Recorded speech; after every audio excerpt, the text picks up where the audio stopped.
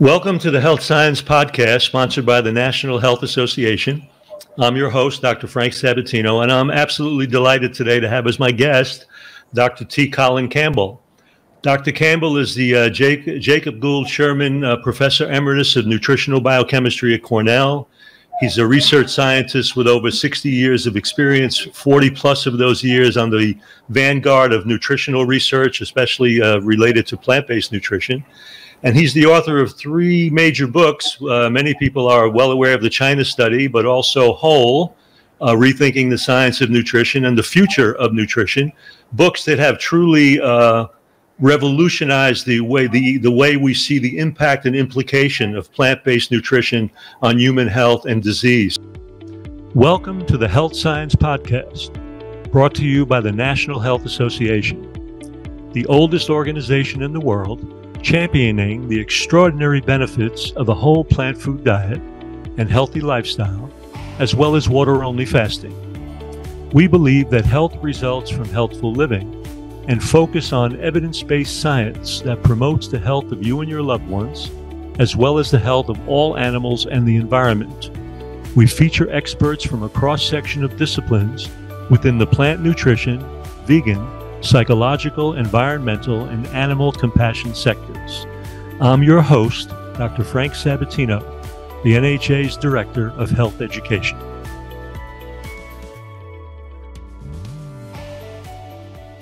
So, welcome, Colin. It's so great to see you. It's been a long time. Yeah, absolutely. Thank you. I I really was looking forward to this, right? Yeah, yeah. me too. Actually, me too. Uh, you know, I was looking at some some of the data related to the China study, and I and I I, I got to believe that in your wildest imagination, you couldn't have believed that this would be translated in over 50 languages and sell, sold the multi millions of copies and had the impact that it does. It had to come as a little bit of a surprise, I would imagine. Yeah, a little story. My, you know, I was complaining about the pushback for a while you know, something like 20, 30 years ago, my wife kept telling me, says, why don't you write a book for the public and stop complaining? And so when I went to the publisher, they wanted me to take out all the references and put in recipes. I said, I don't even know where the pots and pans in the kitchen are. So I, I had, I really had doubts whether it was going to succeed, but it has. Yeah, but it's been great. You know, it's funny because I know you were brought up on a dairy farm. I, would love to know because I don't know this piece what the journey was, your little bit of evolution to get to your interest in plant based nutrition. Can you speak to that just a little bit? Yeah, it was accidental in a sense. I mean, obviously, I was on a dairy farm. I, I guess I knew that animal protein is good. I went away to graduate school. I did my doctoral dissertation on basically it was structured to advance the consumption of more animal protein. It was consistent with my background. And then thereafter, I at my first university position, I was put in charge uh, or coordinating a national program in the Philippines, feeding malnourished children. There again, it was all about you know make sure these kids get enough protein, especially high quality animal protein. So that was all my background, and I thought I was going to be doing that. But then I saw something strange. These children had most protein, seemed to have a higher risk for liver cancer that demanded some research. And so I came back on an NIH grant that lasted for the next 30 years or so. And uh, just asked that question Does animal protein increase cancer? Sounded crazy. I mean, that was not my, my expectation, but the research was so powerful. I couldn't right. let it go. Yeah, it's kind of ironic that, you know, growing up on a dairy farm, that a lot of that early research wound up highlighting that casein, the primary protein in milk, was so carcinogenic. I think that was like really kind of a startling, uh, startling discovery. I'm sure you didn't expect to necessarily see that. No, nor did my colleagues, and they warned me against pursuing that line of research. I'll bet. I'll bet they did. Well, you know what? I want to I want to go somewhere with you because we're just a couple of scientists sitting around talking, and you know, I was I was going over something where you had really um, answered a you know provided a rebuttal to someone who was challenging you and the data of the China study. But what came out of that for me was something that I thought was so brilliant, really addressing the the real nature of scientific research and a very evolving picture of research because you made the point that, you know, first of all, we know that there are many experts and so called experts that have their own personal bias. They, they really do a lot of confirmation bias of their opinions. And in that process, they share with the public sometimes very dangerous recommendations like excessive saturated fat in a keto diet or high protein in paleo diets, etc. And they all seem to trot out their own database to kind of support this. And it makes it kind of difficult for the average person who's looking at these data to say, you know, what's what's true? What do I really believe? And the way you talked about this, and I'd love for you to speak to this, you made the point that many of these huge survey epidemiological studies, like the China study or Framingham or even Adventist 2 or any of these ones that are typically even used in the plant-based world, they re really provide data that's correlative and not necessarily causative. And you have to really look at these data through the lens of something that is what you called uh, when you see these correlations. Uh, do they have some plausibility based on more rigorous studies that preceded them?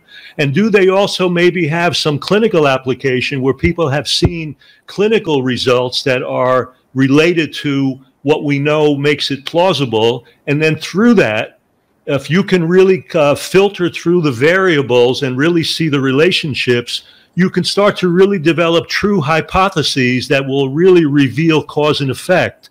And I thought it was so brilliant the way you created this evolving picture of science because most people just see science in a very reductionist way. We take complex things, we try to understand the building blocks, and then we make big stories about you know this reductionist model. So can you speak to that and how the average person looking at data can actually feel comfortable in believing it and having some sense of veracity of what they're reading? I have to say that is the most brilliant question asked so well I've ever heard. I've, I've been on many of these, Frank, but this that was perfect. Um, in any case, uh, you're quite right. I when I got into science, so to speak, uh, one thing I really uh, loved about science was the this idea of uh, sort of doing classical studies, you know, working with science essentially. Uh, when we come into a question that we want to, you know, we want to explore, put into a hypothesis, uh, then there, there's a certain rigor to how to go about doing that. Especially, I had to live by that because I was thinking the opposite. And so, you know, we make a hypothesis, any kind of hypothesis you want to make. Uh, then we have the responsibility to, uh, in a very transparent way, organize some experiments to test the hypothesis. Of course, the results that we got were spectacular. They were in uh, experimental animals at, at that point. But then we went through determining, is this plausible? That's another segment, as you've just stated. Uh, is this plausible? And, and the plausibility uh, data essentially was striking to me. Every time we looked for a mechanism, we found one. And all of a sudden, I came to this impression. You know, all these so-called mechanisms from, let's say, increasing animal protein, for example, all these mechanisms were coming out to the same result. Even though some mechanisms were increasing activity, some decreasing, the ones, the activities that were decreasing, they were mechanisms we have to protect ourselves from cancer. So it was 100% no exception. I said, I finally said, hey, wait a minute, this, this is amazing. How can this all happen like a symphony in unison? So then I had the chance to go to China to have a look in a big population. Uh, I had a look at uh, to see whether or not what we were seeing in the lab was consistent with what we might see in China. And of course, that was a perfect setting because this is in rural China. They didn't consume much animal protein, but enough, you know, to, to see some differences between uh, counties. And what we saw was absolutely consistent with what we saw in the lab. So put those two together. Then the next question you just mentioned, uh, well, what about these correlations? Because the China study itself was based on correlations. Well, you know, obviously we all, our, our colleagues, and we all tend to say this, that correlations do not, does not infer causation. That's a fair statement if in fact we're searching for a single cause out of a big mixture of stuff. That, that's fair, but that's not fair for the way that we did it. I was looking for uh, using animal protein as the cause, but in reality, it was representing, quite frankly, whole dietary lifestyle. So as animal protein goes up, plant protein goes down, you know, and, and so forth, and you're getting an antioxidant, carbohydrate, all the rest. And so I, I saw these results that were, again, highly statistically significant. So I conclude, okay, it was consistent with the biologically plausible argument, the data we had, number one. But number two, uh, the criticism that, that correlation does not, causation does not apply in that case because I'm not looking for one thing. The, the animal protein thing, for example, or the item, uh, was representing, you know, almost an infinite collection of all kinds of things going on. And so, you know, it's a very different paradigm, very different way of thinking about things. So, you know, between plausibility, the correlations, and then some more data that we could talk about. I mean, when I put it all together, hey, I said this, th there's no way that anyone will ever disco discover the opposite. Colin, you also make the point that in big correlation studies that people do that because of the evolving nature of the data, you they become hypothesis generators in a way. They actually lay That's the right. groundwork for yeah. future studies. So I want to ask you a question. It's now almost two decades since the publication of the China study. Of, of all of the empirical data, which is huge data points in that survey, what are some of the strong hypotheses and rigorously tested hypotheses that you didn't realize that have come out of that over this period of time that you can that you can put your finger on? Oh wow! Yeah, one of the most striking and the most uh, almost momentous for our times is that we did research too on the causes of liver cancer caused by hepatitis B virus. It's a virus uh, type of disease, obviously. We were working with that in the animal model. We are using transgenic mice, you know, who are, who, are, who had the gene for getting liver cancer. And of course, then we had the data from China. Uh, and, and what we found, and this had started at the beginning of the pandemic, um, I also I recalled that the pandemic was starting that uh, um, that we had all these data on hepatitis B virus, some of which I hadn't really looked at. And that was the second China study. It was a collaboration between mainland China and Taiwan, believe it or not, uh, about 9,000 people. And what we learned there, Frank, was that um, people who consume, I mean, a lot of liver cancer, of course, uh, this hepatitis B virus causing liver cancer, so we had mortality data that varied across the, the country, obviously. A whole lot, 100 70 sites, by the way, I might tell you. But in any case, it was big. It was a big, big study, 9,000 people. We, we looked at, you know, the the uh, uh, mortality rates for liver cancer. Obviously, we had all those data. It varied a whole lot. And then we looked at consumption of animal protein or plant protein as indicators of dietary uh, lifestyle, if you will. And what we found was people consuming uh, even a small amount of animal protein, only on average like 10% of what we do in the West for China. I thought I wouldn't see anything with 10%. That's ridiculous. But we, we collected the data, we looked at the data, and it turns out that people consuming that small amount of animal protein, they retained the virus, an active virus in their blood. Okay? At the same time, they formed no antibodies. And they got liver cancer. They died. Hmm. I mean, striking people consuming more plant-based foods in contrast, they're the ones that formed the antibodies. Okay? No, no answers, just antibodies. They did not get the liver cancer. There were a total of 11 correlations we had, I had access to, all of them. Significant, significant at the probability level of 0.001. I never saw data so powerful. That's pretty amazing. And so those, so those people consuming the plant-based diet, they were not getting the liver cancer. They were forming antibodies. Of course, you know, one criticism, we're, we're looking at hepatitis virus. We're talking about the coronavirus here. You know, what, what's, what's the deal? Well, it turns out, as you know, and we all really know, that viruses thrive in a condition where the immune system is in trouble. It's kind of weak, difficult, right? We did that study uh, biochemically in the lab. And what we found in the mice, you know, with the gene to get the liver cancer, as we increase animal protein, and they got the liver cancer, right? And at the same time, the T cells, the natural killer cells, which we all now talk about, the T cells are greatly depressed. So the animal protein depressed the T cells. Right. But in the human study, here we had evidence that people consuming animal protein, they couldn't form the antibodies and they got their liver cancer. It was, as I say, it was the most striking uh, data I've ever seen.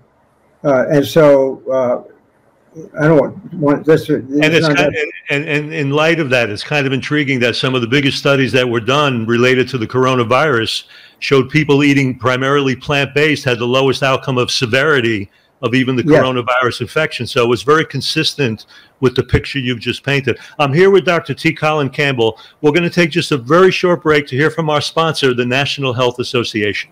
And now, to put a smile on the sponsors of the National Health Association, you're listening to the Health Science Podcast Show. I want to remind you to visit the National Health Association website, where you'll find incredible resources to support your healthy lifestyle, including plant exclusive eating without added salt, oil, and sugar. Simply go to healthscience.org or nationalhealthassociation.org. Be sure to check out membership, which is $35 per year for those living within the U.S. and $55 for those living outside the U.S. You'll be amazed at all the information and benefits you'll receive. As a member, you're kept up to date on the latest evidence based tools for health promotion. You'll receive the incomparable quarterly magazine Health Science, a beautiful 40 page advertising free publication mailed to your home or offices, loaded with articles, recipes, inspirational stories, and interviews with world leaders in the fields of personal health, plant based nutrition, water only fasting, animal rights, and environmental support.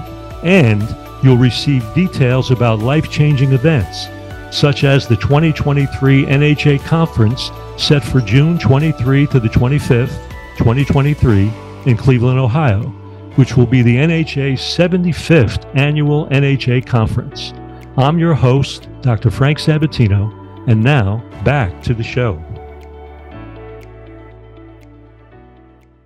Welcome back to the Health Science Podcast. I'm your host, Dr. Frank Sabatino, and I'm having an incredible discussion with Dr. T. Colin Campbell. You know, I want to stay with that genetic picture just a little bit because you were one of the few people early on that said, you know what, the nutritional impact is far greater on cancer than the genetic impact, and you've you've made that point on several occasions. So yes. it must be it must be interesting to you to see over these last two decades this escalation, this explosion of epigenetic data on plant based and lifestyle factors modifying the entire architecture of how DNA expresses cancer and proteins for cancer and enzymes for cancer. It must be a really interesting thing to see the vindication of even some of those studies you were involved in, in this whole field of burgeoning epigenetics. Uh, speak to that. What do you think about all that? Yeah, I, I, am aware of that, but you know, virtually all those studies are mostly taught, except for the one you mentioned before. But all those studies tend to be focused on one thing, you know, one nutrient, one this, one that, one mechanism. You know, kind of thing. I, I find problems with with that structure, but nonetheless, uh, well, the, the, actually, the Ornish study that he did in the uh, proceedings of the Academy of Science was actually a full plant-based lifestyle approach that showed yes, yes. turning on and off of genes. So it's very consistent with the kinds of things you had spoken about, and we're seeing that even more and more. But yes, go. Let's go into that isolated thing, because I want to go one step further. You know, a lot of the plant-based docs and people that have been looking at the reasons for disease in countries, Western nations like the United States, and we know that it's the excesses of nutrition that play the groundwork, lay the groundwork for many of these disturbances. The excesses of animal protein, processed and refined foods, but yet we still have so many people spending so much of their food dollar on supplementation, getting lost in the concept of deficiency. So I want to address your your model from whole, that brilliant book talking about the real important impact of whole food nutrition because the gold standard, and I say that kind of facetiously, is still the idea of us uh, looking at isolated nutrients with limited effects. And there's no way we're going to address the complexity of the human body by looking at that. So, speak to that. I, I think that's a very important piece for our audience.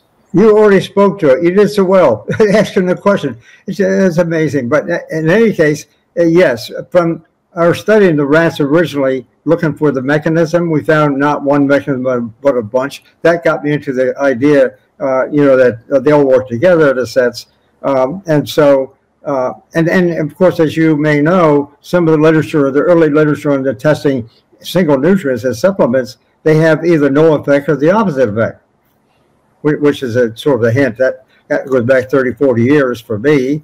Uh, but can I add, add, one more quick question from our previous conversation? Yeah, yeah. You know yeah. that the the the the, com- the comments I was making about the uh, hepatitis B virus, for example, we had those data. I sent those data into Nature and and uh, and uh, Lancet. Right, I published there before. Do you know something? This has ha- never happened to me before in my career. They wouldn't even review it. That's amazing.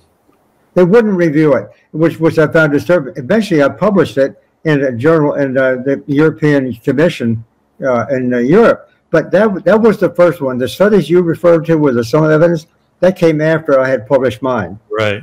Uh, but when you, know, you put it all, all together, they fit like a hand and glove you know, it's remarkable to me because I spent a decade of my life in very hardcore science. And the truth is, people don't realize that even in science, there's a lot of bias. You know, we, we think that it's very altruistic. Then, and I, when I read how you have talked about, and you just gave an example of how the powers that be are still denigrating and reacting to plant-based studies that show positive impact.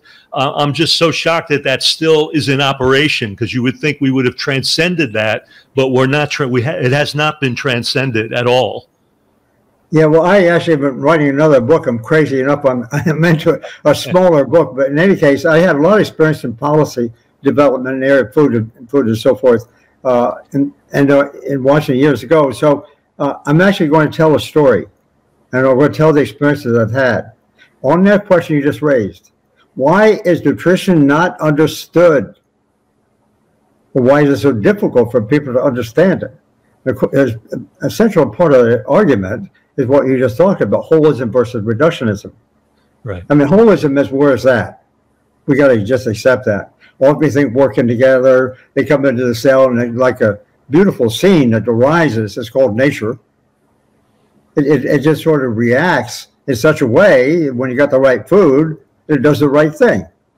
And, and it does it on a very broad basis. It's not just heart disease. It's not just uh, chronic kidney disease. It's right. not just you know you know the story. It's we'll get into this later, but it's just so sad that you know so much of the population gets lost, gets trodden underfoot with this idea that isolated nutrients rather than whole plant food nutrition is the way to go. So they and I and I find it abhorrent in a way that people with limited food dollars spend so much of their you know discretionary income on nutrition on supplementation rather than on whole foods when it's whole foods that provide the panorama of nutrients some of what most of what we know and many that we don't know I mean, there's so That's much going on in Whole Foods that uh, that people are, are are bypassing. They're sidestepping, and you've addressed it so beautifully in Whole, which uh, I think should be required reading for the entire population without any question at all. So, you know, I, I don't know how we, I don't know how we address that mentality and get people back you know, from that abyss that they really gone over with this isolated nutrient mentality. But let me ask you a question because it's always portrayed that, yeah, even for people that agree that whole foods provide a kind of symphony of nutrients that really relate to the complexity of the body much more directly. But there's still this idea that if we look at the literature, they'll tell you that iodine is a global deficiency. And in vegans, you know, B12 will create combined system disorder deficiency. So, is there a place in your mind, in your model, for the application of isolated nutrients within the context of that bigger picture? Well, I'm always open to the possibility of seeing something like that. And my best answer to that, I think, Frank, is that, uh, yeah, I can allow for the fact that uh, a single nutrient given a, a person who is short on that nutrient or you know is compromised in some way, you might see a, you might see what looks like a positive effect.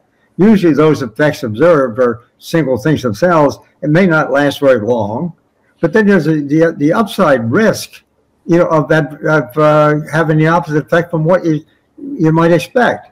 And it's certainly for sure those supplements do not substitute for whole food change. Right. Well, that's so why they call that's why they're called supplementation and not yeah, That's right, supplementation. Yeah, yeah, exactly right.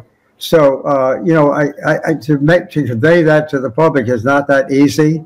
Um, and uh, but nonetheless, you already said it well. I mean, we got to pay attention to the to the whole food, and and that's plant food. To be honest about it, and so that Mother Nature, when she has to look at this food we consume, she knows what to do with these millions of different things all working together. I find it a spectacular idea. I, I call it the biological theory of, uh, of relativity, to be honest about it. Yes, beautiful. Now, I'm, I'm going to shift gears a little bit. One of the uh, foundations of the National Health Association since its inception was the um, attachment or the use of therapeutic water only fasting. And I know there was a time in your life where that was something you entered into because of your connection with the NHA. Can you speak to how that experience informed you as a nutritional researcher, as a scientist, from your own personal experience, and then in some of the research that you actually wound up being involved in at True North and so on? Can you speak to that impact on your own career, on your own mindset? Sure. My, that, my story started back in when I was at MIT in a postdoc position, isolating a compound uh, that was causing a lot of toxicity. Uh, it was known then as Agent Orange. And I, I worked on that a couple of years, isolated the compound. I didn't get a structure, but it turned out to be dioxin, as I was to learn a couple of years later. So I got a really heavy dose of dioxin working in the lab. My colleague at FDA in Washington died at the time. He's 41, working with it. I ended up with polyps that had to be cauterized and you know other problems, and they kind of stayed with me for the next 25 years, affected my speech. Uh, and quite frankly, finally, uh, then I was asked to give a talk at the Natural Hygiene Society, I might add, in Hofstra that time. And uh, the, the fellow, Jerry Deutsch was his name, who invited me down to give the talk, I explained to him, I said, you know, I got a problem, Jerry. I, he was a Cornell graduate. I said, I, I don't think I can speak well. He said, well, come on down. He says, you got some people, you'll have some people down here that think about this whole thing in a rather different way. So I went down 10 guys got together. Maybe you were in the 10. I don't know. I, was in that group. Yes, I was. Yes. Okay. Well, I thought that it just occurred to me. You probably were. But yeah. in any case, Alan was, Alan Goldhamer was sitting there. And uh, so he in turn, you know, suggested, and the society did too, why don't you go and, you know, look after yourself? Uh, go, go out and do a fast. And so I tested myself for dioxin. That was the Canadian authorities did that. You know, I had levels of dioxin in my blood 800 times the amount allowed. That's that was 25 years later. So I kind of put two and two together and surmised that maybe the dioxin is causing a problem. So Alan says, "Come on out and do the the uh, the fast." I had nothing to lose because I thought I was going down the tube, and uh, so you know went out and did it the first time for 10 days. No, 12 days it was. Uh, I didn't see much effect, but I came back a year later because Alan says, you know, it's going to take a little while to, to get onto this. Then that time I came out with my wife just for company. Sure enough, it must have been about like next three or four weeks when I came home on obviously a plant-based diet. Then I was 100%. Of this so, you know, the plant-based diet idea on the one hand, fasting on the other, I'm getting really enthused about this. and so sure enough, you know, now I'm talking again, as you know.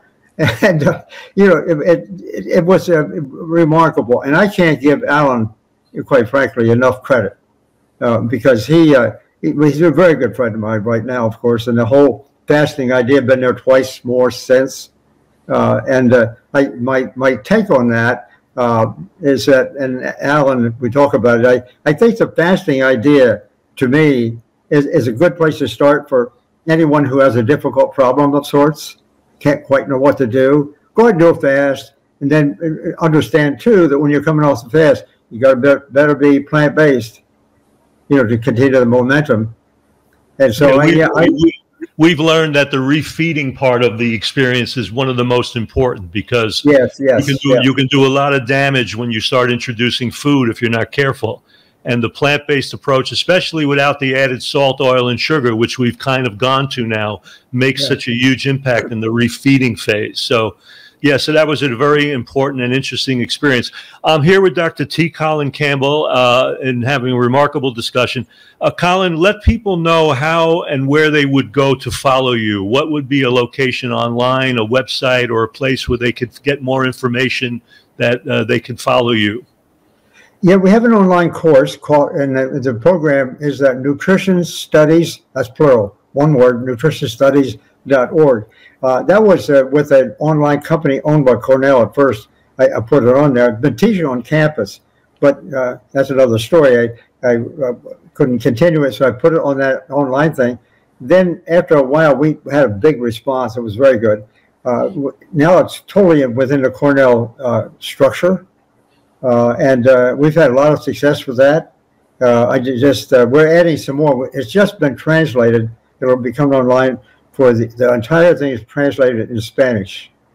So we have wow. it both in English and in Spanish, and now the Italians want to do it too, and so forth. It's it's been exciting. My my daughter, who has a PhD in uh, uh, education and curriculum development is now the president.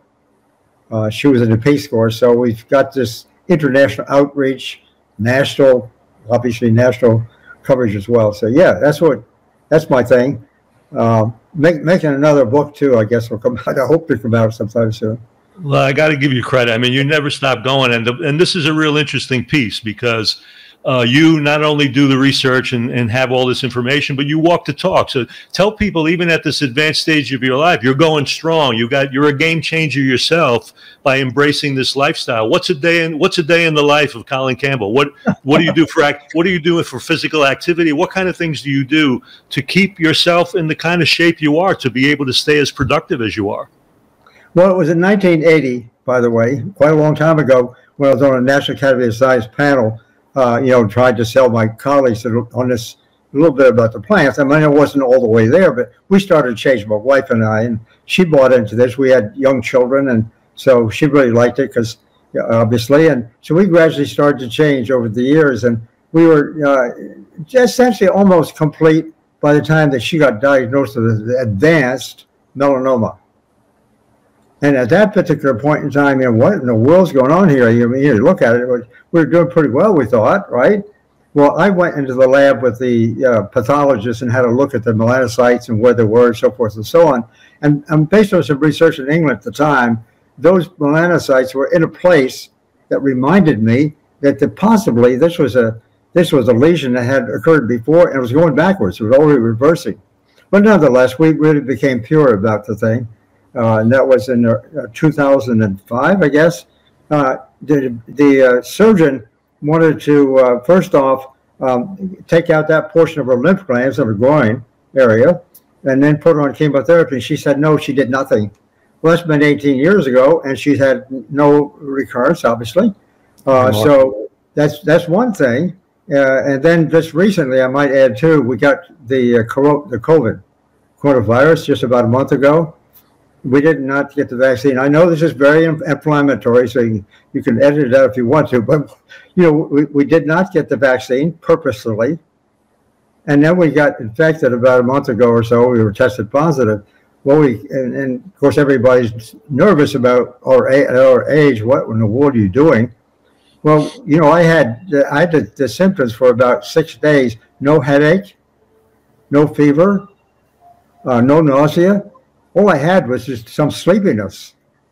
My wife, the same thing, a little bit of cough went with her, and that went for about eight days. So we sailed through it like, you know, a rest period. And that just happened recently, you know, That's with beautiful. no vaccine. I know I'm saying infl- inflammatory stuff, but I'm just telling the truth. That's what happened. But, but, your but your results are very similar to people that stay plant based. The, the response of the immune system is really remarkable, and it is. You, and it you is. go through it like you said, like a whisper.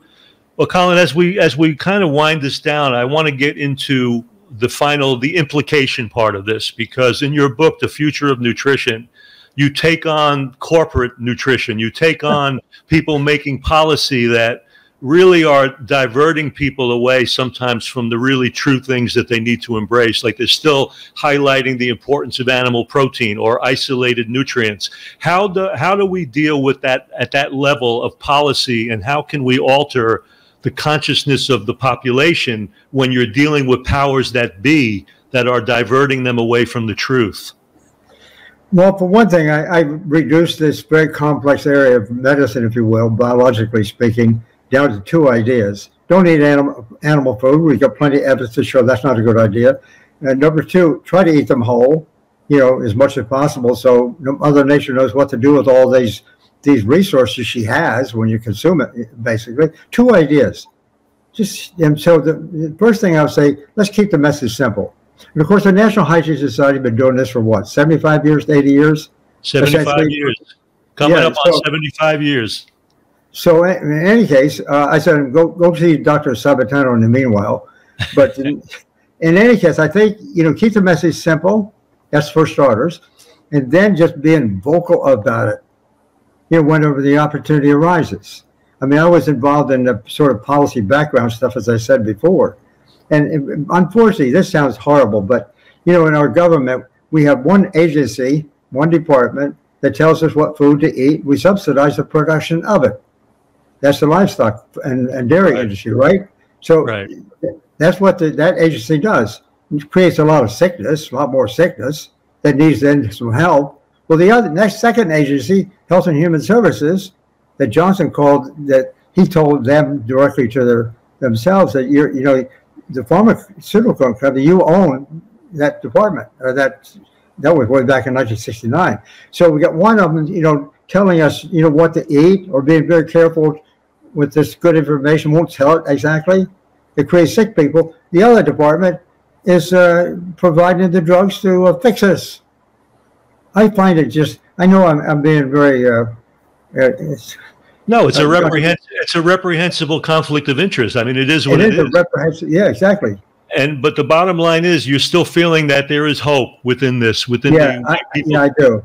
Okay. For, one thing, the word plant based, for example, that I first had in 1978, 79, when I was on a, a, cancer research committee at the time for NIH. But in any case, that word took a long time to circulate, and I didn't think it would ever get out. But you know, the word plant based is kind of out there. You know, whole food plant based, uh, and uh, the people who are historians who talk about trends and so forth, as you well know, one of the first things that needs to happen is to get some conversation. Just use, create some words, get some conversation going that will circulate, and you know, and so it's a start.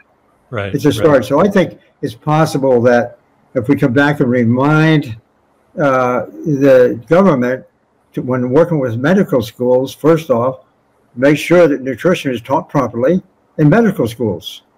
That's one thing, a big deal. In right. my own community, we tend to focus all the time on single nutrients and we worship animal protein. We, we've, we've gone crazy too.